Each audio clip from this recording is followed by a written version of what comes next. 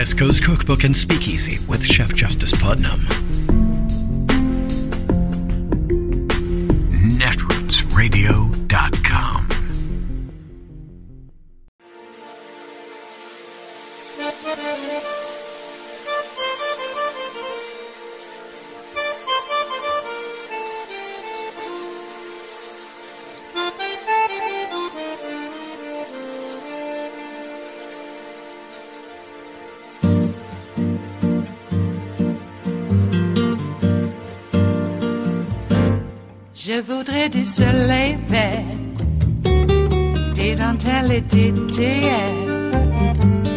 Des photos de bord de mer, dans mon jardin d'hiver.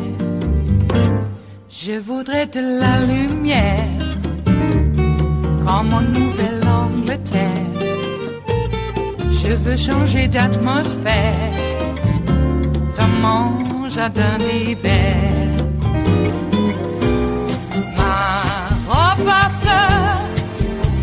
La pluie de novembre. Tes mains qui courent, je n'en peux plus de t'attendre. Les années passent, il est loin, là je tombe. Nul ne peut nous entendre.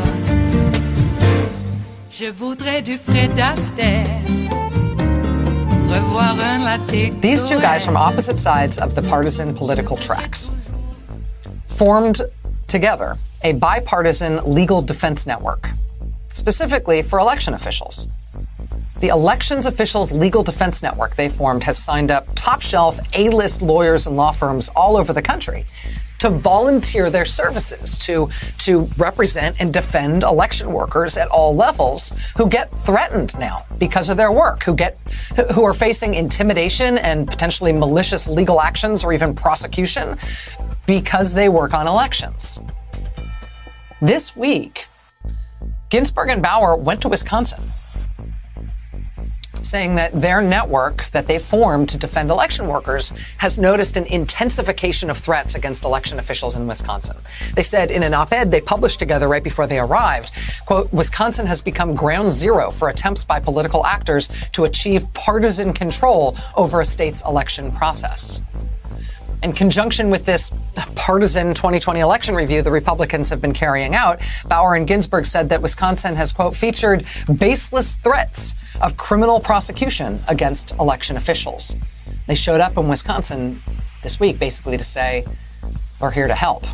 They showed up there this week to backstop that Republican senator, Kathy Bernier, who was willing to sit there with them and take that stand.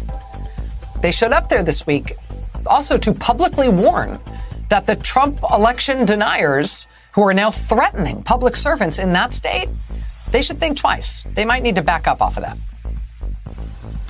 Those election officials who should be defended and are looking for defense will be defended, and the network is available to provide them with that legal counsel should they need it. And we will do so quickly. We've pressure tested it. We have been able to do this for election officials around the country, and we will continue to do that. I should also point out that those who are issuing those threats should understand that properly represented election officials who are defending themselves will have something to say about abuse of process, about malicious prosecution, about people in law enforcement who have law degrees who are disregarding the constraints on their behavior imposed by the bar rules and who can face a call for disciplinary action for misusing their licenses or, in the case of public officials, misusing their official responsibility for partisan political purposes to try to subvert the electoral process by undermining the ability of election officials through threats and intimidation to do their jobs. In other words, if you're coming for elections officials, if you are threatening and intimidating election officials, you better come correct because that is not a free punch. That is not something that you, these are not folks who you can freely swing at and freely intimidate in this way. There will be consequences for people who maliciously do this. Joining us now is Bob Bauer, former White House counsel, uh, senior advisor to President Biden's campaign. He's now a law professor at NYU. Mr. Bauer, it's really nice to see you. Thanks for making time to be here tonight. It's a pleasure to be here. Thank you. What's the relationship between this now apparently indefinitely extended review, this partisan revision that Republicans are doing in Wisconsin, and the kinds of threats to election workers that you and Mr. Ginsburg um, have set about trying to um, help people defend themselves from? Yes, the audit is one of the tools in the current toolkit for intimidating and harassing election officials. These are not professional audits. In Wisconsin, the Assembly directed audit led by a former state Supreme Court Justice, uh, Michael Gableman, whose name appeared on your screen. This Mr. Gableman has acknowledged he doesn't know anything about running an election. But however, he did come into the audit with a view that the 2020 election had resulted in theft. It was fraudulent. Voters had been stolen from. So he knows nothing about elections or how they're run, but he had an opinion. And he's the person the assembly chose to put in charge of this audit. We've seen this before. We've seen this in, say, Arizona with the so called Cyber Ninjas audit that was also an embarrassment. It once again involved people who did not know anything about running an election, much less auditing one after the fact. But election officials now understand, and this is the key point, that partisan actors are seeking to subvert nonpartisan election administration. And I came to know Ben Ginsburg quite well over the years. Of course, we've been on the opposite side of the partisan divide in any number of contexts, but I came to know him very well when we co chaired President Obama's Commission on Election Administration. And we understood then that the country was supposed to be moving, and the commission was meant to help the country continue to move in the direction of nonpartisan election administration. What we're seeing is a 180 degree radical turn in the opposite direction toward partisan control of the electoral process. You have been sort of sounding an alarm about that for months now. Not just the intimidation of election workers, which you and Ben Ginsburg are taking um, concrete action to try to defend those folks, um, but specifically that partisan hijacking of election administration processes. Um, what do you think? What have you come to believe is the best bulwark against that? We need to do a number of things. We need really an all systems approach to solving the problem. We need to give election administrators around the country protection, which is why we're through the network offering them pro bono legal defenses. And as you point out, I think those who would attack them know, as you put it, it's not a free punch. That's certainly part of it. We need to resist the enactment of laws that are designed to allow partisans to take over the polling place and limit the ability of polling place workers to actually create a safe space for voting. And we're seeing that problem develop in states that are enacting statutes that could have extremely harmful consequences for the conduct of elections in the polling place in the United States. Congress certainly should take a look at the Electoral Count Act. And that is in desperate need of reform. We saw what happened uh, on January 6th, even uh, before the rioting began. Uh, the baseless objections and the call on Vice President Pence as president of the Senate to falsify the tally in some way. So there's an enormous amount to be done here to bring back what we thought we would see after the Florida presidential recount in 2000, which is a country that was fully committed to nonpartisan expert election administration. Now we see a movement that just has to be resisted toward putting partisans in control of the electoral process where they clearly have a stake in counting the results the way they would like to see them counted. Bob, one, one last very quick question. It's something that you mentioned in your op ed this week. Am I correct that the election officials uh, legal defense network that you and Mr. Ginsburg have formed, that you are still soliciting volunteers? You're still looking for lawyers and law firms to do pro bono representation for election workers when they are threatened? You're still looking for people to help? We are very much welcoming the help. We have recruited now hundreds of lawyers. We have deployed them in particular circumstances to help and to consult with election officials under attack. Our view, however, is that as the presidential campaign in 24 approaches and even in 2022, we have to have a massive force available to provide this kind of defense. So, yes, we would welcome the help and we're continuing to look for it the Election Officials Legal Defense Network, a truly bipartisan effort. Um, Bob Bauer, former White House counsel, uh, thank you so much for being with us, Mr. Bauer. It's nice to see you. Thanks. Thank you very much. It's a pleasure. It is Thursday, the 16th of December of 2021, and you are in West Coast Cookbook and Speakeasy. I am your chef de cuisine, Justice Putnam.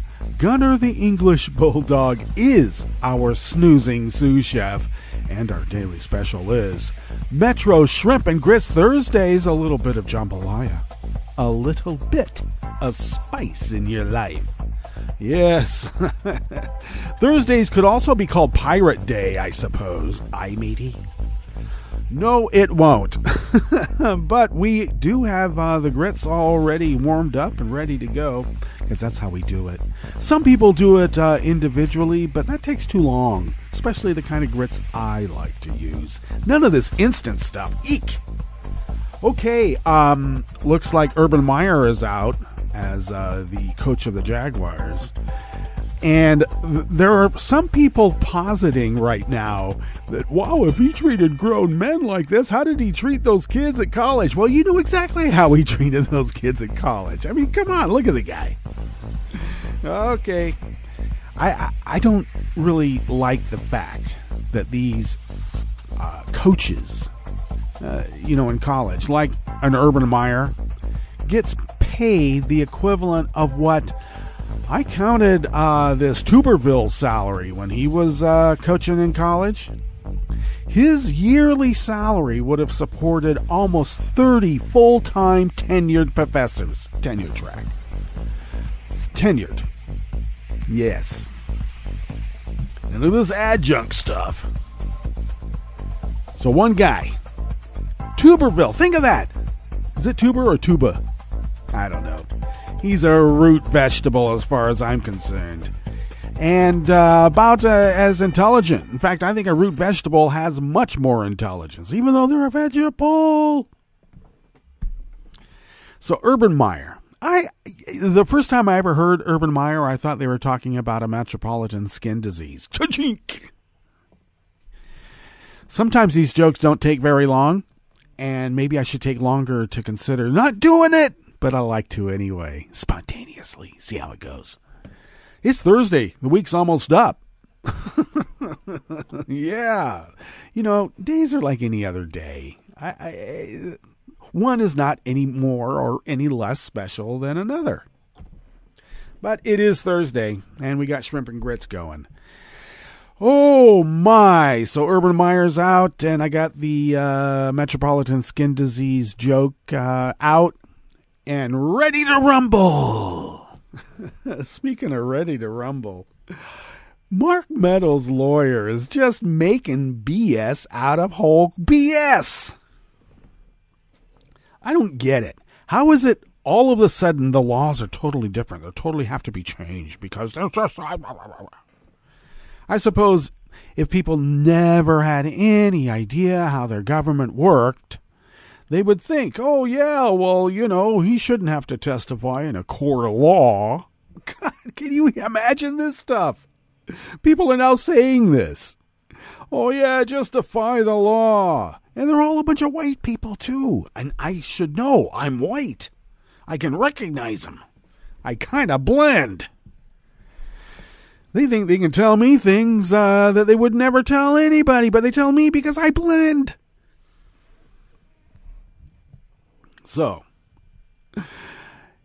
they are so upset that Trump and his cronies have to testify in front of the communists. Yeah, Adam Schiff is a communist. They they pluraled communists. Mean, they oh god. This is what happens when you ban books in the schools apparently. Uh, no wonder they want to ban books in the schools. They don't know how to read them. They might be able to read something off their phone, barely. Maybe it's the emojis that they're deciphering. Hieroglyphs. The modern hieroglyph. Boy, we're going to have big time trouble in the distant future when people try to figure out how the hell we communicated. For prosperity. yeah. Okay, well, there's so much, just so much going on. The the abject uh, disregard for the law by these, well, shall we say, uh, insurgent insurgent traitors. Could we go that far? I know the ultimate punishment for a traitor is, you know. But it looks to me like they were trying to destroy the United States of America, and some of them got foreign help and have had it for quite some time. We have the Flynn brothers. I still don't understand how Mike Flynn's brother's still in the military. Are we just because we're nice? We don't want to make it look like we're going after the family for reprisal purposes. No, I think the guy's in on it. Oh, we can't hold a former president accountable for crimes. Yes, you can. Jesus. We're treading uh, new water. We've never done this before. Well, you know, we never had a guy run for president and win with foreign help from a hostile foreign nation, by the way, one who has declared war on us. Yeah, they're fighting asymmetrical warfare, but it might as well be tanks, and we know that. Once they start attacking our infrastructure, our banks, our medical facilities, give me an effing break. Oh, well, it's because it's a mob government. It's not a real government. I don't care. They got nukes. They declared war on us. Anybody in cahoots with them is by definition a traitor. I know technically that we're we are the ones that have to declare war, but look, they're throwing the big roundhouse kicks right now and connecting a few times. Luckily, damage is still done. Anybody in cahoots with that is not, well, defending the United States of America, are they? Yeah, they think they can ride the tail of the tiger. Well, it's not a tiger, it's a bear. You don't ride the tail of a bear. Trust me. Jeez, these people.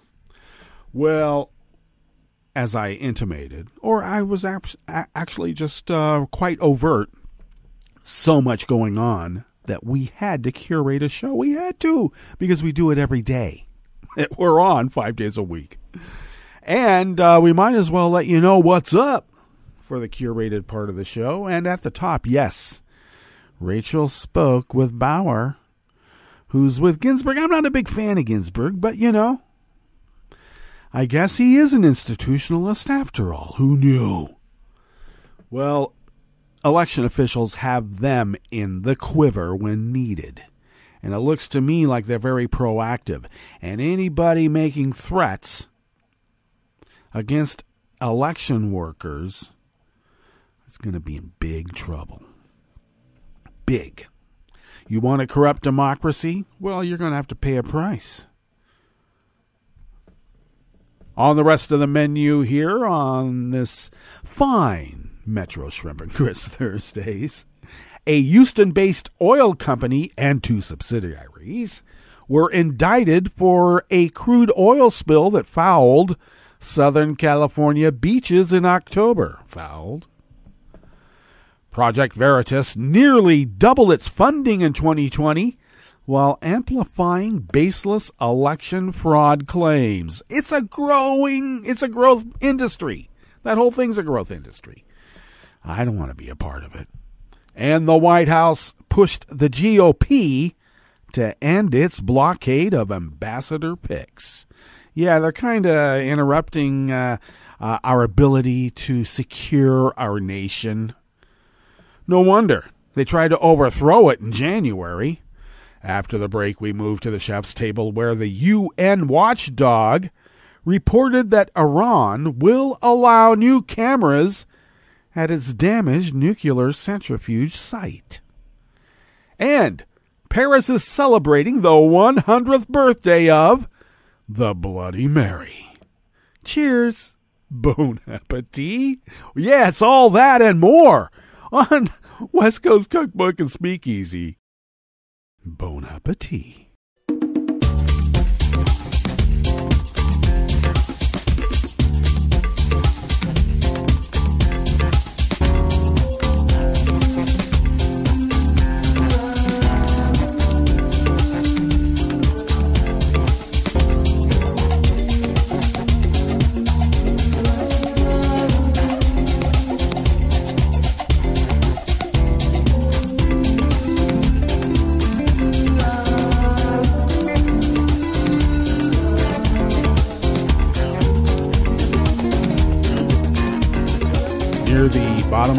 Homepage at netrootsradio.com. To the right of the page is the chat room link, and the chat room is monitored by Kelly Lincoln. Thank you, Kelly. Oh, we just got notice that uh, Kelly uh, uh, had the most watched YouTube uh, episode on our uh, on our network. So I thought that was pretty astounding. Way to go, Kelly. Okay. Uh, also, if you would then look ac- across the page near the bottom of our homepage at netrootsradio.com, uh, there is the link to our Patreon page, and you know what to do. If you could become a recurring Patreon of Netroots Radio and send us what you might spend on an espresso type coffee drink, send those funds to us once a month. We are able to use those funds with what we already pull out of our wallets, and pay our bills, and fly under the radar and continue this resistance against the hostile fascist takeover of the United States of America. Thank you for your generosity and thank you for your generosity in the future. If you would like to follow Netroots Radio on Twitter, do so at Netroots Radio. Thank you, Tom, for taking care of that. Follow me on Twitter at Justice Putnam. And uh, incidentally, I post the show notes and links diary on Daily Kos about 10 minutes before showtime. Get that linked up on Twitter and other social media platforms. Of course, you do. And if you would like to follow the show, do so at Cookbook West on Twitter and pick up podcasts by way of Spreaker, Stitcher, TuneIn, iHeart, YouTube, iTunes, and wherever podcasts can be found.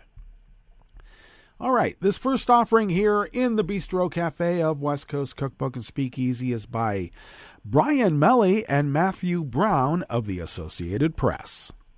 A Houston based oil company and two subsidiaries were indicted yesterday, Wednesday, for a crude oil spill that fouled that's a nice way of putting it fouled Southern California waters and beaches in October, an event prosecutors say was caused in part by failing to properly act when alarms repeatedly alerted workers to a pipeline rupture. Amplify Energy Corp and its companies that operate several oil rigs and a pipeline off Long Beach were charged by a federal grand jury with a single misdemeanor count of illegally discharging oil. Investigators believe the pipeline was weakened when a, sh- when a cargo ship's anchor snagged it in high winds in January, months before it ultimately ruptured on October 1st, spilling up to about uh, oh, 25,000 gallons of crude oil in the ocean. That's a lot, you know. A lot of paint cans. U.S. prosecutors said the companies were negligent six ways, including failing to respond to eight leak detection system alarms over a 13 hour period that should have alerted them to the spill and would have minimized the damage. Instead, the pipeline was shut down after each alarm and then restarted, spewing more oil into the ocean. Amplify blamed the unnamed shipping company for displacing the pipeline and said workers on and offshore responded to what they believed were false alarms because the system was not functioning properly.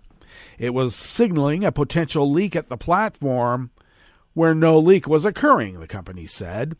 The leak, in fact, was from a section of undersea pipe four miles away, Amplify said. Had the crew known there was an actual oil spill in the water, they would have shut down the pipeline immediately. Well, you know what? Maybe they should have.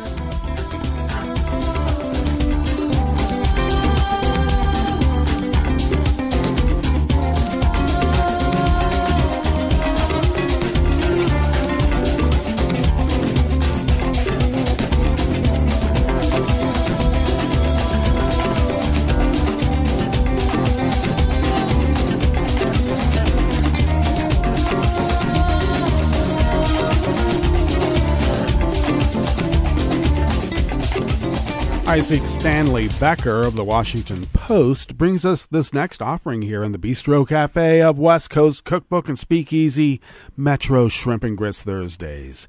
Two days after the 2020 election, as Donald Trump raised alarm about massive voter fraud, Project Veritas produced a video it claimed furnished stunning proof.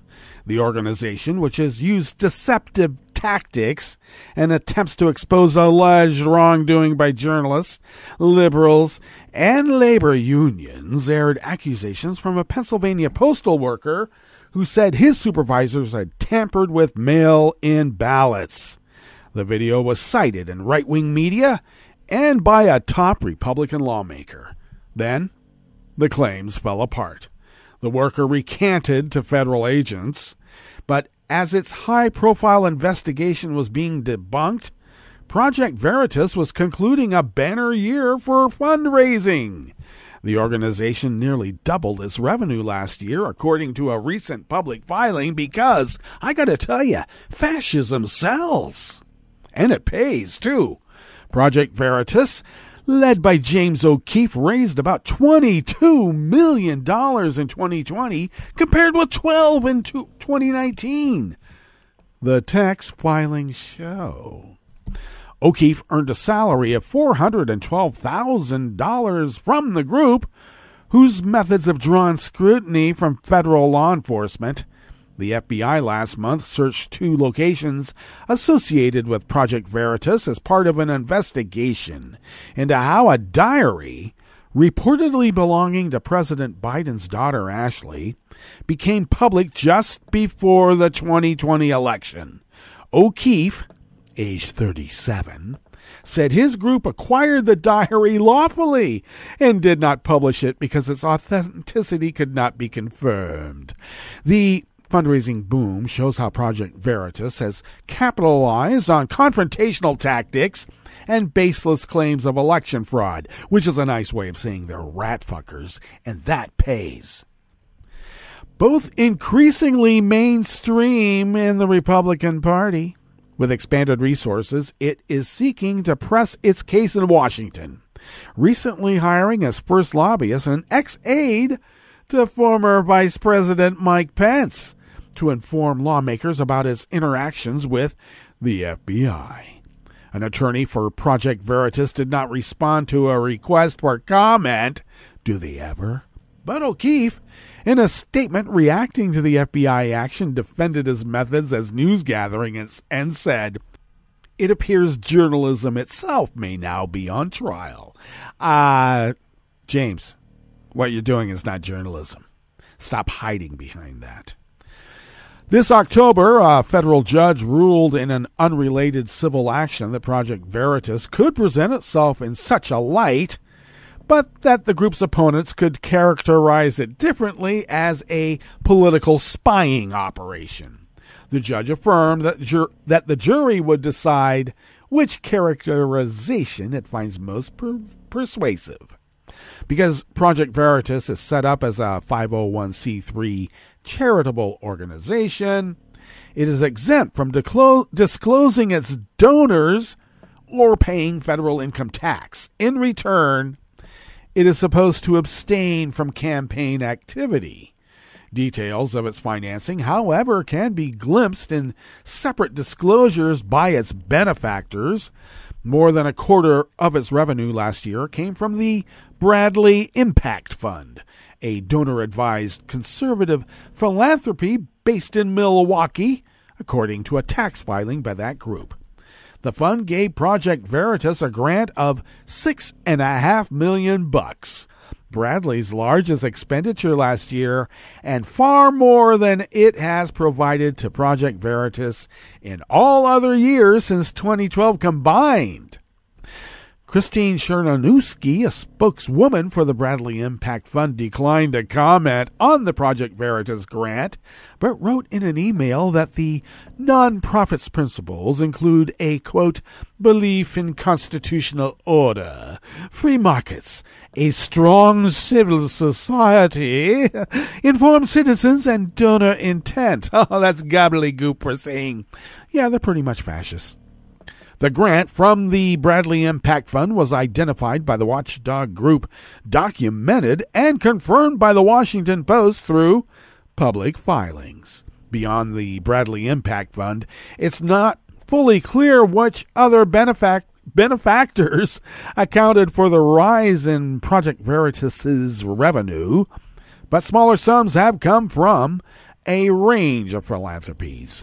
Donors Trust, another prominent donor advised fund that allows its contributors to remain anonymous, gave just over 1 million to the group. The Gardner Grout Foundation, a Reno based philanthropy that lists no mission statement or employer employees on its tax filings, contributed $325,000 last year, more than three times the amount it gave the year before.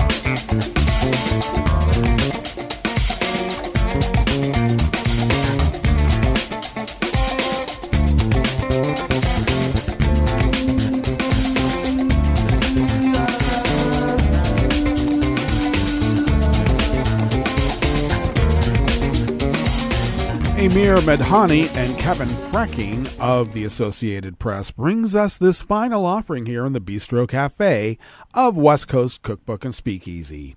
President Joe Biden unveiled two more ambassador nominees yesterday, Wednesday, but the White House and Democrats warned that maneuvering by some Senate Republicans, we're looking at you, Tom Cotton, to block all but a small fraction of diplomatic and other national security appointees is doing serious harm to U.S. efforts around the globe. I would think that's a feature, not a bug.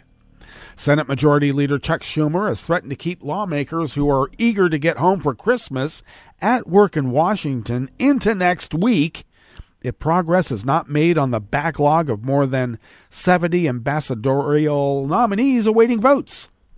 Biden administration officials acknowledge the president will almost certainly end his year with significantly more ambassadorial vacancies than any of his recent predecessors, and that the slowdown of ambassadorial and other national security picks has already had an impact on U.S. relations overseas, considering how much all of it was gutted by you know who. It's long past time for GOP senators to get out of the way and let the Senate quickly confirm these national security nominees so they can advocate for the interests of the American people around the world, said White House Principal Deputy Press Secretary Karine Jean Pierre. As of Tuesday, only 13 of Biden's 85 ambassadorial nominees have been confirmed by the Senate. At the same point in the three previous administrations, presidents had far more of their diplomats confirmed and installed at embassies around the globe. Trump had 44 of his 60 nominees confirmed, Barack Obama 72 of 96, and George W. Bush 93 out of 103. Well, let's get to our break, and when we get back from that break, we will go through weather from around the world, and we will finish up with the stories that we've curated for you today. You are listening to West Coast Cookbook and Speakeasy, and we will be right back. You are listening to netrootsradio.com. Please hang up and try again.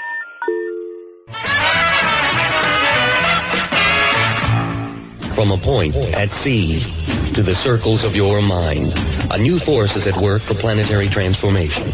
New radio for a new Earth.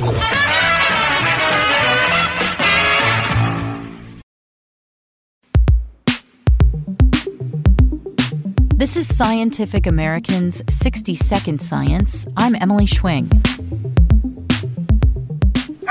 The boreal forest is the largest terrestrial biome in the world. It covers 14% of the land on Earth. And today I'm here with my dogs on the north side of Denali National Park and Preserve. Come on. What? Come on. I'm walking my dogs through the boreal forest. It's also known as taiga. It covers 1.3 billion acres of the Earth's surface. This forest is actually really beautiful. There's these black spruce trees, they're stumpy, sometimes they're really short and growing in different directions. There's lichen that hangs off of the dead branches, bright green lichen. Today there's a skim of snow on the ground over top of this feather moss that just covers the forest floor. There's a magpie on a on a tree branch right in front of me. Wildfire is a normal part of the life cycle for the boreal forest, but as the climate warms, this ecosystem is becoming increasingly vulnerable. That vulnerability risks turning this forest from a carbon sink into a carbon source. When the boreal forest burns, it has the potential to release gigatons of carbon into the atmosphere. In the global context, one of the reasons why boreal forests are really important is that they store a lot of carbon, and much of that carbon is actually in the forest floor. Jill Johnstone has been studying boreal forest ecology for decades. She does research through Canada's Yukon University and with the University of Alaska Fairbanks. It's this undecomposed plant remains that accumulate through time. And when a fire comes through the forest, it can just singe the surface of those uh, accumulated plant remains, or it can burn deeply into them, like a severe burn combusts most of that forest floor. That results in a pulse of released carbon to the atmosphere in the form of smoke and other aerosols and small uh, carbon dioxide molecules. And so that carbon is essentially lost from storage that burns away. This past spring, a group of scientists released their findings from a 15 year study that looked at how boreal forests regenerate after wildfire. Johnstone was a co author. Well, one of the things that we've been noticing in the past couple of decades is that fires are burning differently in the boreal forest than we understand them to have burned in the past. And as a result of that, how the forest regenerates is changing. Black spruce and fir are the dominant tree species in the boreal forest. These trees are coniferous, they're good at withstanding cold, and they grow really slowly. Particularly fires that burn deep into the forest floor and they change the seed beds, and that affects which tree species regenerate well. And as a result, we're seeing that recovery process shifting to what we call alternative trajectories. A changing climate means wildfire is becoming more severe. It's burning off the organic layer of soil that supports species like black spruce. So, after a severe fire, the environment is better suited for deciduous tree species like birch and aspen to get a foothold. These trees grow much faster. And here's where Johnstone and her colleagues discovered an unexpected twist. Even though extreme fires are burning up those carbon rich layers of organic soil and releasing that carbon into the atmosphere in the short term, what grows back is even more carbon hungry than what came before it. Johnstone says this new kind of boreal forest is storing carbon four times faster than it would have before it burned. I think that I would have anticipated something like twice as fast not necessarily four times as fast.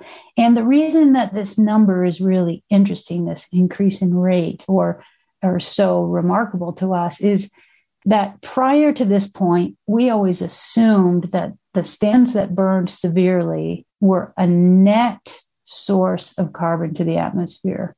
meaning they lost more carbon in the fire than they could hope to reaccumulate before the next fire came through. Ecologists like Johnstone have worried for years about the amount of carbon that could be lost to the atmosphere from wildfire in the boreal forest, because that could lead to what she calls a runaway feedback loop with climate change. And so, this example of more rapid accumulation of carbon in deciduous broadleaf stands is a way of thinking of putting the brakes on the runaway train. And uh, it's really valuable to recognize that by changing the type of vegetation that recovers after fire, we actually change the carbon accumulation rate. Johnstone says the change in vegetation regime might help bring the system back into control, at least for a bit. There are limits to this seeming self regulation. So let's let's change the metaphor to driving a bus down the highway, and uh, what we are concerned about is that as fire as climate warming leads to more fire weather, we get more severe and active fires burning in the boreal forest that releases more carbon. And that's just pushing the accelerator pedal down on this bus. The added carbon accumulation as the forest regime regenerates and shifts from coniferous to deciduous trees.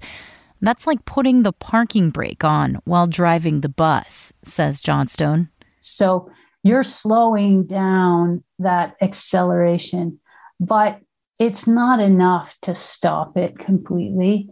And as long as we are continuing to pump carbon into the atmosphere, particularly through our own fossil fuel combustion, then our, we're going to keep accelerating. But this feedback of vegetation change in the boreal forest is, is at least pushing back against that acceleration to slow us down. And we need to use all the tools available to us to help slow that bus down because it's it's headed to go over a cliff. Discovering this natural shift took some sleuthing. This research really played out like a detective novel. At first, we noticed, oh, the fires seem to be doing different things and asking questions about, well, if the fire the way the fire burns changes. How does that change the forest regeneration? And that required a bunch of experiments and following patterns of forest regeneration for 5, 10, 15 years. Deciduous trees like birch and aspen live for about a 100 years. So the team couldn't simply wait for one or two centuries to find out what happens in the forest. So we went out and found all these different aged stands across the boreal forest in Alaska and sampled them and tried to make sure that we had a good comparative set of ages that could be linked together as being probably starting from the same initial conditions and then just of different ages. And that piecing together is like doing a jigsaw puzzle. The pieces of the puzzle that are still missing are the ones that help explain how we pump the brakes enough to keep that bus from reaching the cliff. For Scientific American's 60 Second Science, I'm Emily Schwing.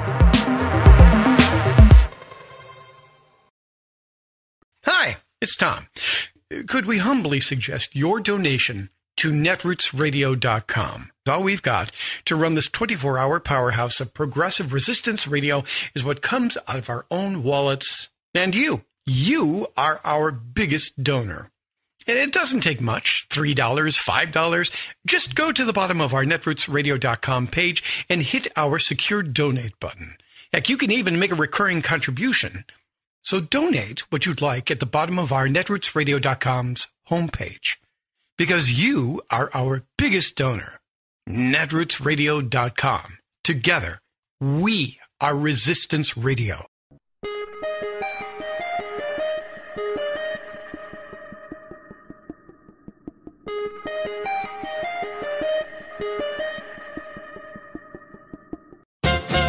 A world that's clogged and choking with a massive overdose of plastic trash, you'll be heartened to learn that governments and industries are teaming up to respond forcefully to this planetary crisis. Unfortunately, their response has been to engage in a global race to make more plastic stuff and to force poor countries to become dumping grounds for plastic garbage. Leading this Kafkaesque greedfest are such infamous plunderers and polluters as ExxonMobil, Chevron, Shell, and other petrochemical profiteers. With fossil fuel profits crashing, the giants are rushing to convert more of their oversupply of oil into plastic. But where to send the monstrous volumes of waste that will result? The industry's chief lobbyist outfit, the American Chemistry Council, looked around last year and suddenly shouted, Eureka! There's Africa! In particular, they're targeting Kenya to become a plastics hub for global trade in waste. However, Kenyans have an influential community of environmental activists who've enacted some of the world's toughest bans on plastic pollution. To bypass this inconvenient local opposition, the dumpers are resorting to an old corporate power play free trade. Their lobbyists are pushing an autocratic trade agreement that would ban Kenyan officials from passing their own laws or rules that interfere with trade in plastic waste. Trying to hide their ugliness, the plastic profiteers created a PR front group called Alliance to End Public Waste. But hello, it's not public waste. Exxon and other funders of the alliance make, promote, and profit from the mountains of destructive trash they now demand we clean up. This is Jim Hightower saying the real problem is not waste, but plastic itself. Rather than subsidizing more of the stuff, we should seek out and encourage people who are developing real solutions and alternatives. Need an antidote to the progressive blues? Want some good news about how grassroots folks are rebelling against the corporate powers and winning? Well, here's an easy to swallow pill for you the Hightower Lowdown. Hightower's monthly newsletter will give you the lowdown, even as it lifts you up. It's four pages a month, jam packed with facts you can use, actions you can take, and Jim's own Texas humor all for only $15 a year. To become a lowdowner, go to hightowerlowdown.org. Welcome to 60 Second Civics, the daily podcast of the Center for Civic Education. I'm Mark Gage. The British were eager to establish colonies in North America in the early 17th century. Britain sought to compete with Spain, France, and the Netherlands, which had already established colonies in the New World. The contest was a struggle between global powers. The Spanish had already claimed huge expanses of land, including present day California and Texas. At first, Britain was content to capture Spanish ships loaded with gold and other plunder from the New World. The British soon realized that America contained valuable natural resources they sought to exploit directly. Britain also saw North American colonies as a way to counter the Spanish and to settle the constantly increasing number of the poor. Britain established its first successful colony in Jamestown, Virginia in 1607. The French established Quebec only one year later, in 1608. In 1609, Henry Hudson, an English sailor hired by the Dutch East India Company, explored what is now called the Hudson River Valley. He was looking for a route to India, but instead handed the Dutch a rich claim to land in what would someday become the state of New York. That's all for today's podcast 60 Second Civics, where civic education only takes a minute.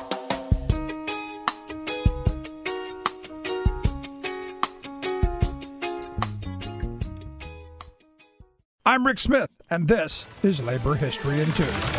This day in labor history, the year was 1951. That was the day New York City was struck by the Great Bagel Famine. 300 members across 32 bakeries of the Bagel Bakers of America Local 338 walked off the job over wages and working conditions. Morris Siegel, business agent for the local, stated that the Bakers Association had been lax in living up to the welfare fund payments and sanitary provisions of the contract. The bagel bakers produced 1.2 million bagels weekly for New York City consumers. The Wisconsin Jewish Chronicle noted, quote, "The only ones welcoming this respite are the salmon. Diners, delicatessens, and Teamster delivery drivers were all rocked by the strike, which lasted for 6 weeks. The two sides were so deadlocked that a mediator who had effectively settled a smoked salmon dispute 3 years earlier was brought in to help settle the conflict." The bagel bakers won a $3 a day wage increase and were ready to return to work. But the Teamsters would not begin deliveries until they were paid for lost wages due to the lack of deliveries made during the strike. The bagel bakers would engage in job actions effectively over the course of the next 15 years until they too suffered the fate of many an industrial worker, that of automation. Their labor would eventually be replaced by labor saving bagel making machines by the late 1960s. The Bagel Bakers Local 338 was a union that was based in New York State. And they set the minimum wages of the Yiddish bagel bakeries and controlled all of the stages from the flour sack to the plate. But like the did to the canal. For more information, go to laborhistoryin2.com, like us on Facebook, follow us on Twitter at laborhistoryin2.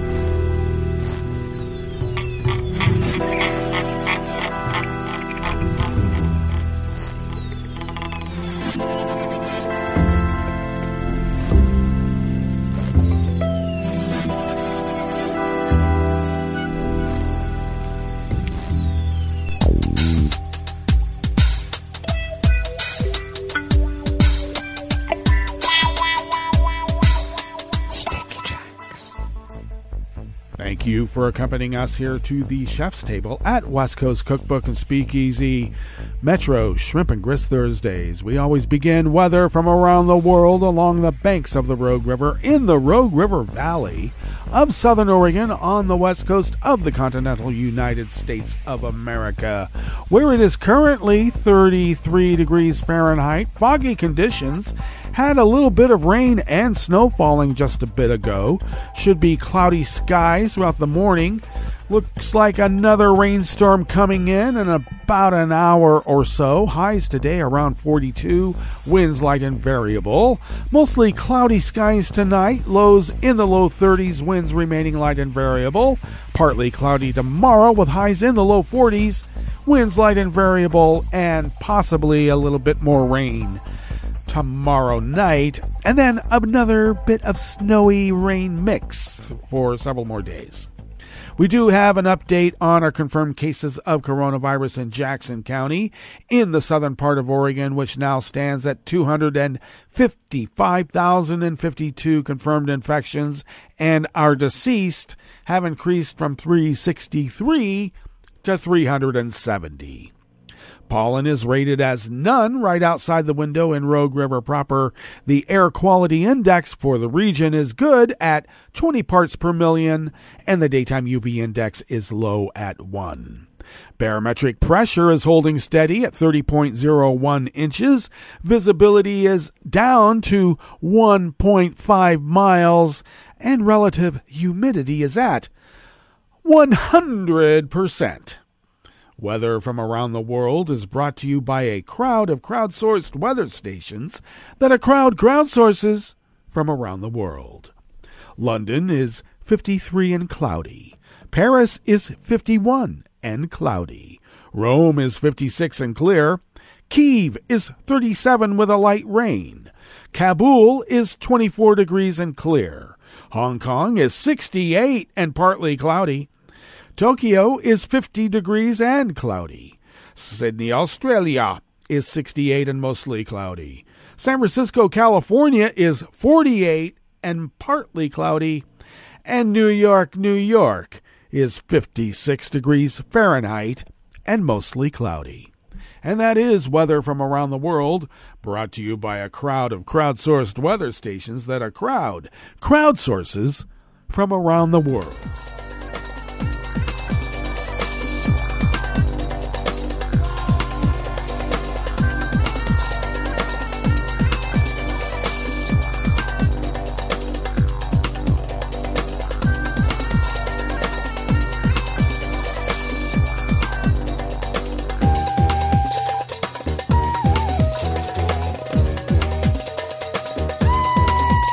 Amir and Jon Gambrell of the Associated Press brings us this first amuse bouche here at the chef's table at West Coast Cookbook and Speakeasy. The United Nations nuclear watchdog and Iran reached a deal yesterday, Wednesday, to reinstall cameras damaged at an Iranian site that manufactures centrifuge parts, though inspectors remain limited on what footage they can access.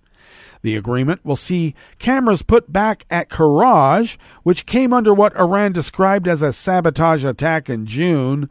Iran has since refused the International Atomic Energy Agency access to replace cameras that were damaged in the incident, part of an ongoing hardline tact taken by Tehran at negotiations underway in Vienna over its tattered 2015 nuclear deal with world powers. Iranian media first reported the deal without citing a source, and IAEA Director General Rafael Mariano Grossi later tweeted out a statement detailing the arrangement. The IAEA said the cameras would be reinstalled at Karaj in the coming days. Tehran blamed the Karaj assault on Israel, aimed at amid a widening regional shadow war since former President Donald Trump unilaterally withdrew America from Iran's landmark nuclear accord with world powers. Negotiations continue in Vienna over trying to restore the deal. However, Iran, under hardline President Raisi, has taken a maximalist position in negotiations. Anxiety is growing among European nations at the negotiating table. Without swift progress, in light of Iran's fast forwarding of its nuclear program, the deal will very soon become an empty shell, they recently warned. The U.S. has remained outside of direct talks since abandoning the accord.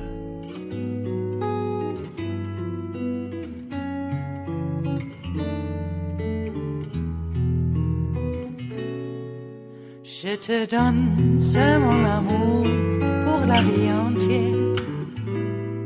La promesse de me trouver à tes genoux. Aussitôt que tu m'appelles, rester toujours fidèle. C'est tout, c'est tout. Je te donne tous mes printemps, mes étés de mer mes automnes, quand les feuilles tombent partout. Si ce n'est pas une bonne affaire, je te donne tous mes hivers. Alex Turnbull of the Associated Press brings us this final amuse bouche here at the chef's table at West Coast Cookbook and Speakeasy. Harry's Bar in Paris is celebrating the 100th birthday of the Bloody Mary, the vodka tomato juice cocktail believed to have been invented at the iconic watering hole in 1921. The centenary events this week bring a welcome respite from winter gloom and worries about the Omicron variant of the coronavirus.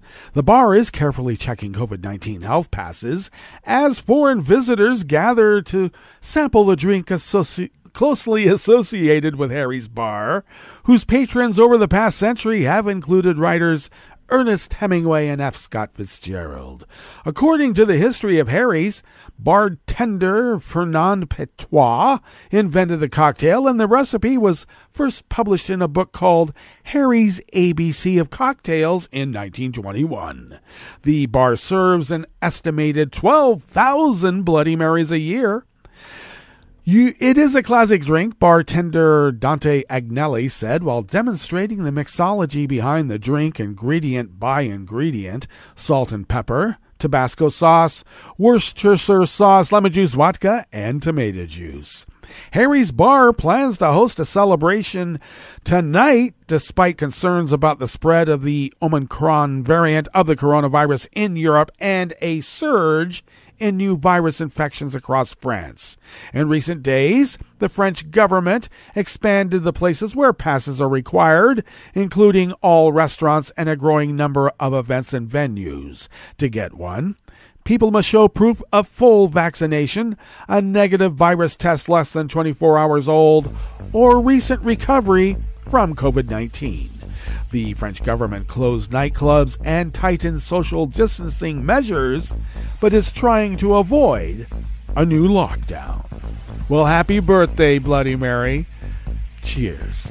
All right, that brings us to the end of our broadcast period for the day, but you do know Netroots Radio broadcasts on, and we will meet up tomorrow for Blue Moon Spirits Fridays. So do stay tuned to Netroots Radio all day and all night for all the breaking news as it breaks. And we'll meet up here tomorrow, right here in West Coast Cookbook and Speakeasy. Bon appetit.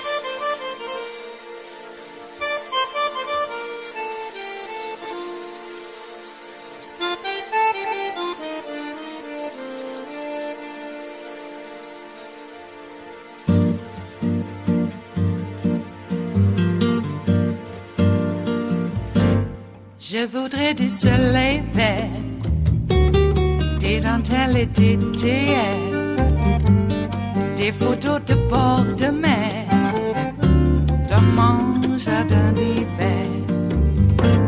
Je voudrais de la lumière, comme en Nouvelle-Angleterre. Je veux changer d'atmosphère dans mon jardin d'hiver. Ma robe sous la pluie de novembre. Tes mains qui courent, je n'en peux plus de t'attendre.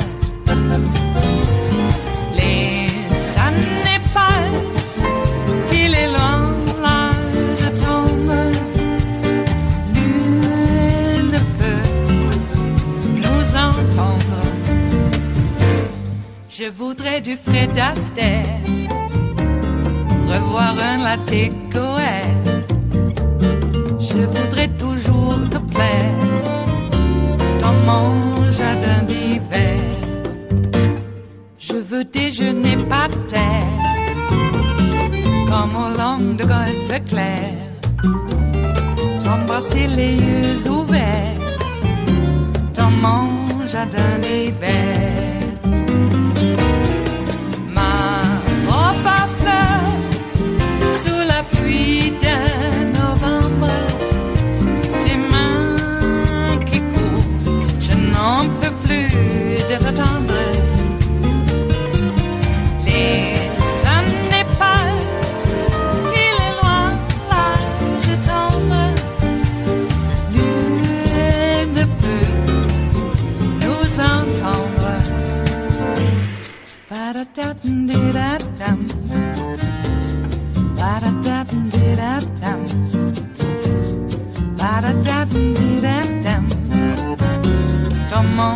Jardin d'hiver.